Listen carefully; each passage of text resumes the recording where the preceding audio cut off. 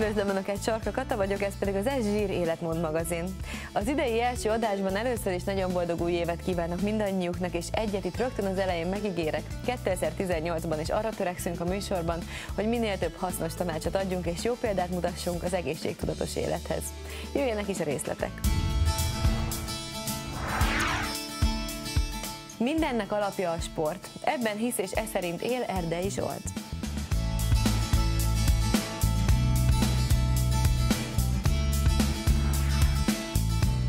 Szénhidrát függő, de ismeri a mértéket és rendszeresen edz azért, hogy tartsa a formáját. Majoros hajninak szinte már barátja az izomláz. Aztán imádja a magyar ízeket, és kísérletezik is velük a konyhában Erdélyi Timi. Legutóbb életében először egy disznóvágáson járt, ahonnan természetesen az S zsírkamerája sem hiányozhatott. Már itt is vannak velem a stúdióban mai vendégeim. Erdélyi Timi és Kristan Péter személyi edző. Sziasztok! Szia Kata! Ez az év első adás, úgyhogy boldog új évet kívánok nektek. Köszönjük Remélem szépen. jól telt a karácsony is, a szilveszter is. Tehát bizony. Ahogy kell, szokás. Látom, plusz kilók nem jöttek rátok, úgyhogy Szerencsére nem. Ügyesek Sok munkával kompenzáltuk az ünnepeket. Viszont nézzük meg, Timi, az első kis filmünket, amit veled forgattunk. Jó. És egy eh, nagyon-nagyon új élmény volt számodra. Az biztos is. Kezdjünk mindjárt egy nem mindennapi kisfilmmel. Van, akinek terápia a főzés, imád a konyhában tenni-venni, és olyan is, aki inkább elfogyasztja, semmint elkészíti az ételeket. Stábunk egy vidéki disznóvágással járt, ahol Erdélyi Timi és Szulák Andrea is ott volt. Kolbász és hurkatöltés, tepertő sütés, házi töltött káposzta rotyogás. Önöknek mi jut eszébe ezekről a képsorokról? Az Ez Zsír magazin? A viccet félretéve kapva kaptunk az alkalmon és a játékszín csapatával egy hangulatos, disznótoros minifesztiválon vettünk részt. Ott Szulák Andreát és Erdélyi Tímát faggattuk, ők szeretik ezeket a hagyományos magyar ízeket. Magyar lány vagyok, én szeretem a magyar ételeket, és nem igaz, hogy a magyar ételek egészségtelenek, mindennek van egy olyan elkészítési módja, amit nem véletlenül találtak ki úgy, ahogy, és aki egy picikét is foglalkozott valaha a gasztronómiával, az tudja, hogy ezeket nagyon jól és nagyon egészségesen is el lehet készíteni, és attól még azok magyarok maradnak. Én nagyon húsevő lány vagyok, nagyon-nagyon-nagyon szeretem a magyar gasztronómiát, és magam is nagyon intenzíven főzök egy csodálatos konyhámon, amiben egy, egy igen nagy háztartást viszek, és igen, igen komoly gasztronómiai csodákat igyekszem végrehajtani, akár a klasszikus magyar konyha értelmében, akár újra értelmezve a dolgokat.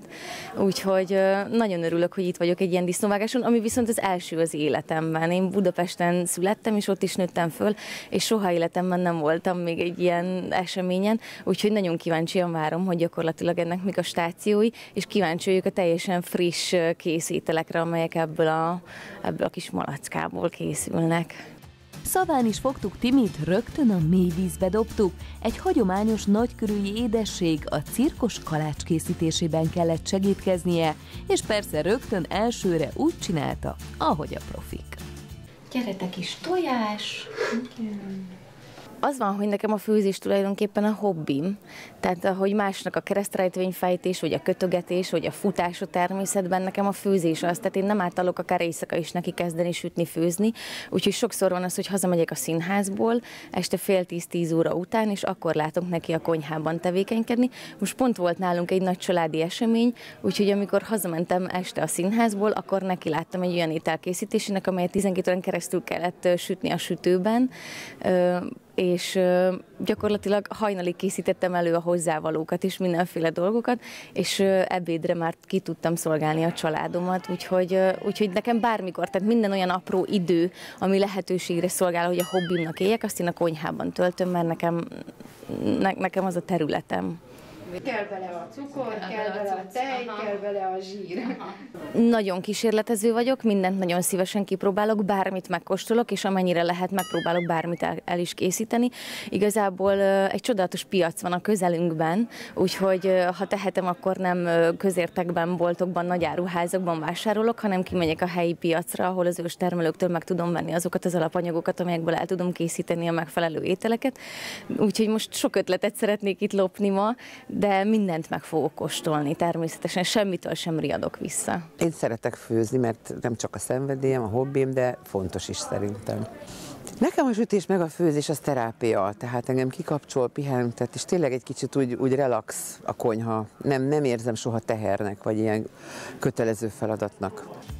Igen, az Ezsír magazinban általában a sporté és az egészséges étkezésé a főszerep, de nagy ritkán ezek a tipikus magyar kalóriabombák is fel-felbukkannak mindenki étkezésében. Persze csak is a hagyományőrzés miatt. Pontosan erre mondják, hogy lesz majd mit lemozogni.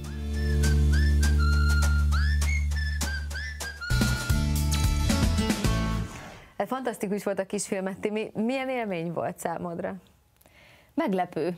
Megmondom őszintén, hogy úgy indultam el otthonról, hogy egy picit úgy sírdogáltam ezen, hogy itt véget ér egy állat élete, mert azt nagyon fontos tudni, hogy én egy nagy állat is környezetvédő vagyok, úgyhogy szerintem nekem a húsfogyasztási karrierem ott érne véget, hogyha elmennék egy ilyen állatfeldolgozó, vagy húsfeldolgozó üzembe pontosabban de ez eddig még nem történt meg, úgyhogy én nagyon-nagyon szeretem a húst, a jótékony hatásait is ismerem. Gyakorlatilag mindent fogyasztok, ami, ami húsétel, kevés kivétellel, de azért félelemmel töltött el az, hogy mi fog várni rám, és igazából egy picit rendhagyó volt ez a disznóvágás, mert mire odaértünk a színházzal és a színház csapatával, addigra már igazából nem kellett átélni azt az élményt, hogy itt véget vettünk egy állat életének, tehát gyakorlatilag ez egy disznótor volt, nem maga a disznóvágás részére érkeztünk, így viszont nagyon-nagyon izgalmas volt látni, hogy, hogy mik az előkészületei, hogy hogyan töltenek meg egy hurkát, hogy mik azok a tovább további ételek, amiket ilyenkor szokás szerint mellé raknak Magyarországon tájegységenként, hogy milyen az az ízvilág, amikor frissen kóstolsz meg egy ételt egy ilyen disznóvágás után, úgyhogy összességében véve nagyon jól éreztem, Miket és egy picit meg is könnyebbültem. Miket kóstoltál? Mi ízlet a legjobban? Kóstoltam hurkát, kóstoltam kolbászt, és kóstoltam egy úgynevezett pecsenyét, ami nem kérdeztem meg, hogy a disznó mely részéből csináltak, amihez egy frissen, savanyú káposztából frissen készített ilyen roppanós köretet adnak, tehát semmi nehezebb szénhidrát, krumpli vagy rizs vagy ilyesmi, csak a káposztát adják hozzá, és egy ória leves előzi meg ezt az egész menüsort. Nagyon klassz volt. Peti, azért azt látom rajtad, hogy te nem eszel minden nap ugyanilyen dolgokat, mint amiket most Timi elmondott, de mi a véleményedről? Szereted egyébként? Én azért szoktam menni persze, tehát Ózdon nőttem föl, úgyhogy azért az vidék, tehát szoktam menni azért ilyeneket persze, de hál' Istennek részben a genetikámnak is köszönhetem, hogy annyira nem rakódik rám a fölösleges zsír, de edzek is. Tehát, hogy azért ez is hozzájárul ahhoz, hogy, hogy, hogy nem, híz, nem hízok el, nem vagyok hízékony, de azért persze szeretem a jó ízeket, tehát, hogy azért benne van. Ti mi elhangzott az is a kisfilmedben, hogy szeretsz a konyhában tenni-venni. Milyen ízvilágot szeretsz? Én nagyon szeretem a kísérletező ízvilágot, és vannak kedvenc séfjeim, akiknek az útmutatásai szerint megpróbálok lavírozni a konyhában, de nem szentírásnak tekintem a könyveiket, a receptfüzeteiket, vagy akár az újságokban megjelent cikkeiket, hanem mindig egy ilyen iránymutatásnak elolvasom, és már vagyok annyira magabiztos és gyakorlott a konyhában, hogy azt mondjam, hogy igen, igen, igen, igen, igen, és akkor ehhez képest én így, meg így, meg így, meg így. Úgyhogy igazából otthon úgy nőttem föl, hogy a, hogy a klasszikus magyar konyha ételeit és receptjeit főzte az anyukám, és ételeit ettük, úgyhogy igazából az volt nekem az első kiindulási pont, és aztán onnantól kezdve kezdődött el a kísérletezés, hogy a világkonyháin keresztül, és az általam már említett kedvenc séfek receptjei mentén. A szülői juttatás azért elhangzott itt is. Igen. Peti, nálatok az, hogy neked a sport lett a, a gyakorlatilag tényleg a hivatásod, Igen. Az, az a szülőktől jött, vagy honnan? Nem, igazság szerint ez a saját magam útja volt tulajdonképpen. Anyukám orvos, apukám pedig informatikus, tehát hogy egyáltalán nem ez a, nem ez a vonal, úgyhogy, úgyhogy az elején azért voltak kérdőjelek bennük, bennük is, de azért utána el lett fogadva ez a dolog. Tehát mindig is voltam támogatva, mint sportéren, tehát azért gyerekkorom óta sportolok, de az, hogy a foglalkozásom is ebben legyen, azért az, az, az kicsit kérdőjeles volt. Bennük, bennem kevésbé, és akkor tulajdonképpen így, így, így született meg ez az egész. Nagyon sok kérdésem lesz még hozzátok, de nézzük meg a következő kis filmünket. Majoros Hajni nem csak a genetikában bízik, hanem az akaratban is hisz. Éppen ezért, ha csak teheti, kőkemény edzésre fogja magát, hogy két gyerek után is megtartsa a formáját. Persze szakértői segítséget is kért Kriston Petiét. Kilépsz, de figyelsz rá, hogy a feneket ez megmarad ebbe a googoló pozícióba, és onnan teszed is vissza le. Vigyázz. Mozogni jó, mozogni élvezet, főleg ha valaki olyan kapcsolatban van a személyi edzőjével, mint Majoros Hajnalka Dundika, viszont lehet, ez csak azért alakult így, mert Kriston Péter edzők párjának Majkának köszönheti, kis túlzással, de van benne valami. Otthon is van egy Petim, legyen az edzőteremben is egy Petim. Nagyon szóval a viccet félretéve. Nekem az előző edzőm egy, egy nagyon aranyos és nagyon, nagyon jó tanárom volt, és ő, és ő egy csajszi volt. Aztán utána ugye szültem, tehát egy kicsit úgy hátráltattam ezt a helyzetet, és hogy nagyon őszinte akarok lenni, akkor, akkor a Mónit is Peti ajánlotta, és aztán elkezdett a Peti járni a, a Kriston Petihez. És adott volt a helyzet, hogy, hogyha már így másodszorra is előbukkan az, hogy, hogy nekik is segített, akkor, akkor próbáljam már ki én is az ő Petiét. Légy szíves, Sajnika, mutasd meg nekem, hogy hogyan is van ez. Igen.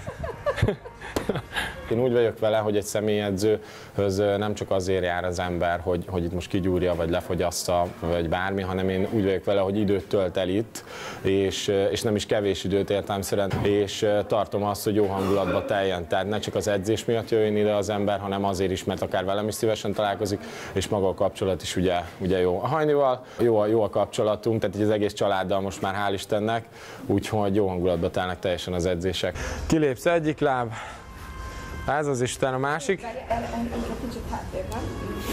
Hát ahogy gondolod. De ezt senki nem kérdezte, hogy... Peti kemény edző. Egyébként én csendes gyilkosnak hívom, mert hogy beszélgetünk közben, megcsinálom a feladatot, ő megmutatja, ő odajön, kiavít, majd, majd ott tartok, hogy, hogy azt veszem észre, hogy á, az elején még hm, egész jó lesz, ezt fogom bírni, lehet, hogy még egy kicsit nagyobb súlyokkal is tudnék dolgozni, és aztán rájövök, hogy baromira nem. Mert a negyedik kört már nem bírom megcsinálni. Na jó, megbírom, csak hogy? Kérdés, hogy hogy. Aki már egyszer elérte a számára ideális formát, az mindig azon igyekszik, hogy azt visszanyerje. Két gyermek boldog anyukájaként hajni is ezen dolgozik, hiszen a genetika csak részben alakítja az alkatunkat, a többi csak is rajtunk múlik. Nem szeretem azt, amikor azt mondják, hogy, hogy, hogy jó a genetikád, és, és amiatt nézel ki úgy, ahogy, mert ez egy kicsit hátrány azokkal szemben, akiknek meg nem jó a genetikájuk. És ezt egyébként én nagyon előszeretettel hangoztattam a 20-as éveimben, hogy ah, nekem jó a genetikám, majd nekem biztos, hogy nem lesz szükségem semmire. Aztán lám-lám csak eljött az az idő, amikor azt mondhatom, hogy köszönöm szépen a genetikát, továbbra is gyönyörű és csodálatos ez a dolog, hogy anyutól és aputól így örököltem. Viszont ez egy olyan olyan múlandó dolog, hogy azért még így is tennem kell azért, hogy olyan lehessek, hogy saját magamnak megfeleljek. Tehát, hogy mindenki szerintem egy kicsit úgy van vele, hogy tudja, hogy milyen volt, és hogyha nem is tudom visszakapni azt az alakot, ami 20 évesen volt, hiszen arra már azért annyira ne vágyjak, de, de azért megközelíteni még meg lehet. És hát természetesen azért az egészségem szempontjából is nagyon-nagyon fontos. Örömteli, boldog pillanatok. Az.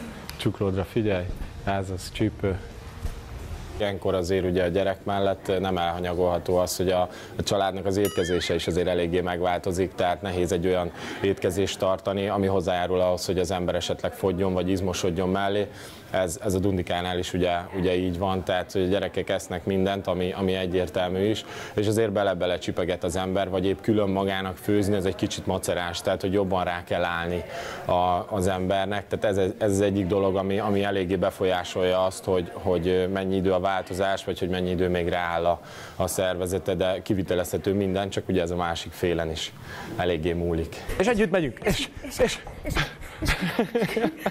Szerencsére én a Petit azért is választottam edzőmnek, mert ő nem az a tipikus edző, aki azt mondja, hogy gyorsan csináljunk baromi jó alakot valakinek, és aztán utána elengedjük, és akkor majd lesz valami, hanem szépen fokozatosan történik, és ez az étkezésre ugyanúgy vonatkozik. Tehát, hogy nincs az, hogy nekem nem tudom milyen porokat kell, hogy beszedjek, hanem, hanem egész egyszerűen tényleg a normális táplálkozási útmutatót mutatja meg nekem, és mondja hogy, hogy mi az, amiből kicsit kevesebbet ehetek. Nagyjából mindenből kevesebbet kell lennem, de hát ez, ez én vagyok. Így könnyű, sokan gondolhatják Hajni és Péter jó hangulatú edzését látva, pedig a siker majoros hajnalkának sem hullik az ölébe, figyel az étkezésre és két nevetés között keményen edz. Az már csak a pont az íre, hogy a szuperforma megszerzése közben egy új barátra talált a trénerében. Jó, még kettő Hajni, hogy azért úgy meglegyen a megfelelő terhelés, ha már ma nem edzünk. Jobban.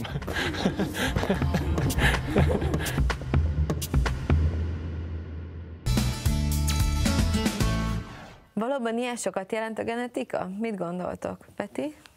Hát én azt mondom, hogy az alapot az hozza. De ez, ez amúgy akkor derül ki igazából, amikor elkezd edzeni az ember. Tehát előtte tényleg max annyi, hogy hízékony, nem hízékony, de például, hogyha egy izmosodó fiú vagy férfiról beszélünk, maga a genetika ugye jön az izom formájáról, tapadás, eredés, milyen formája van. Tehát azért, hogyha szétnézünk egy konditerembe is, nagyon sok alkatú, nagyon sok formájú embert láthatunk, akire alapvetően azt mondjuk, hogy izmos, de például a szemünknek nem tetszik annyira. Tehát ez sokszor befolyásolja ez, igen, a genetika, viszont utána azért nagyon sok munka is van benne, hogyha az ember tényleg valami nagyot szeretne alkotni. Timi, te jársz edzőterembe?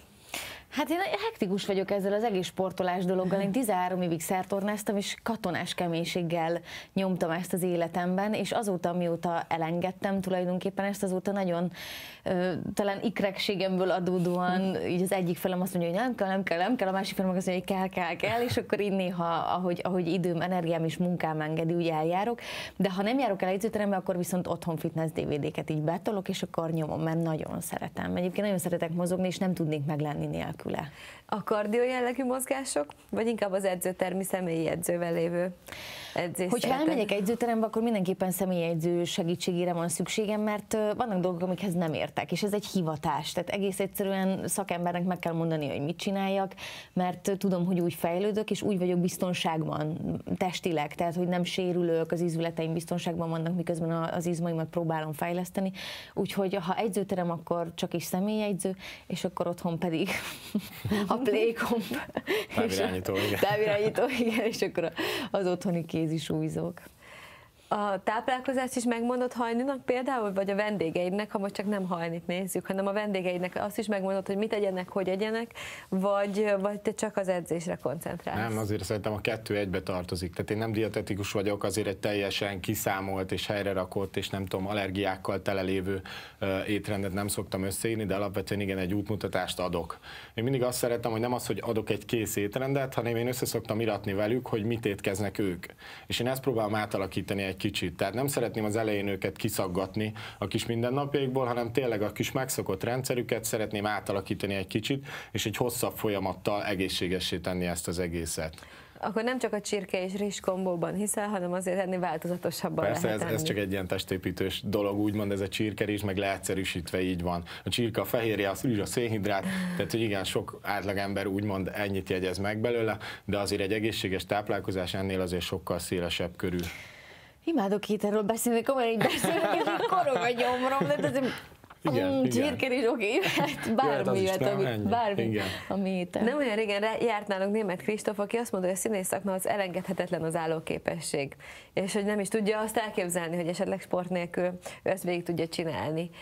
Neked akkor inkább alapot adott a sport, és most már, most már azért abból táplálkozol, amit gyerekkorodban összeszedtél izomzatot, állóképességet, vagy azért kell neked is nap, mint nap küzdeni érte? Figyelj, igazából azért nem tudnék objektív választ adni erre, mert én tényleg három éves koromtól kezdtem el sportolni, tehát nem tudom megítélni, hogy vajon milyen lenne, hogyha ez nem lett volna az uh-huh. életemben. És az, hogy, hogy rugalmas vagyok, hogy a spárgáim megvannak három hónap után, fél év után, és nem tudom, azt ennek köszönhetem, és, és az izomzatom, a testfelépítésemet, állóképességemet ennek köszönhetem, de, de szerintem az igényt is ennek köszönhetem, hogy, hogy nem tudnék nem sportolni. Hogyha ez a teniszezést jelenti, akkor elmenni teniszezni, hogyha egy balettórára bemenni, akkor balett mert nem sportoló akartam lenni. más, másra vágytam.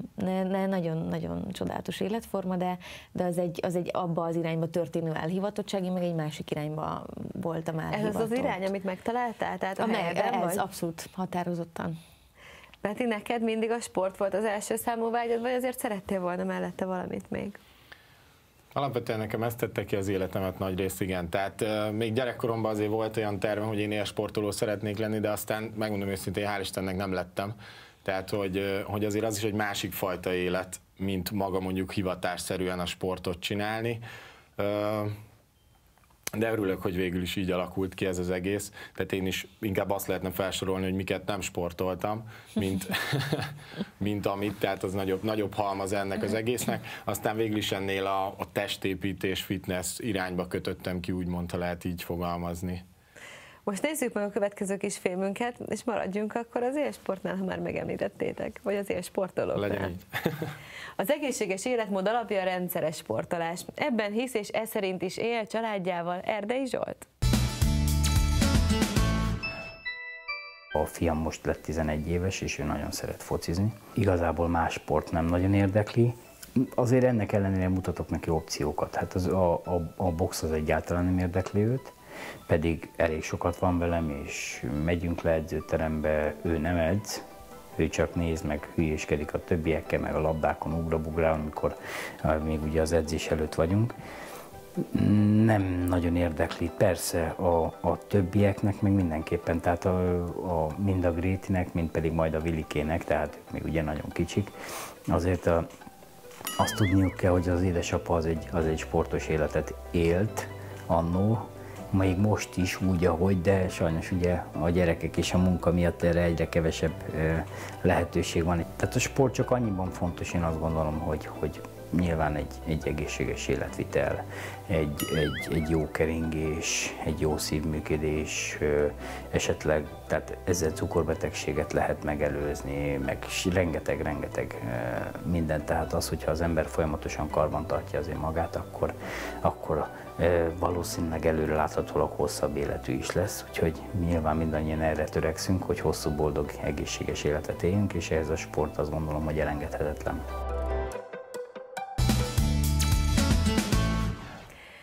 Az első adásunk így 2018-ban.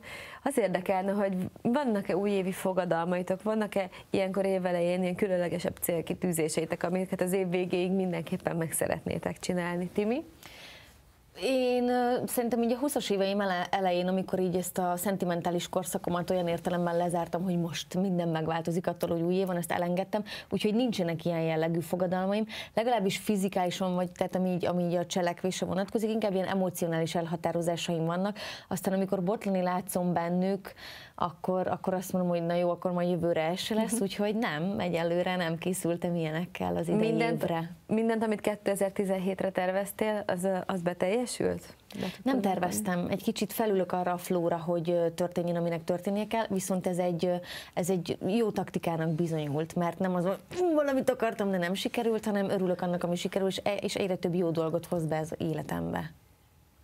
Peti, nálatok? Igen, igen, én is hasonlóképpen vagyok, tehát konkrét terveket, célokat, én nem szoktam így kitűzni évre, hogy most igen, most négy számmal nagyobb lesz a lábam, vagy kicsit lejjebb fogyok. Tehát alapvetően én is azt tartom, hogy, hogy a fejembe él valami, mondjuk, hogyha a munkára gondolok, és azt így folyamatosan próbálom előre és előre vinni, és nekem is igen, élek a lehetőségekkel, és, és úgy látszik, hogy ezek jönnek be folyamatosan, tehát, hogy én is sodródok az árral, de mégis tudatosan. Tehát, hogy én ennek a, a híve vagyok, úgymond ennek az egésznek.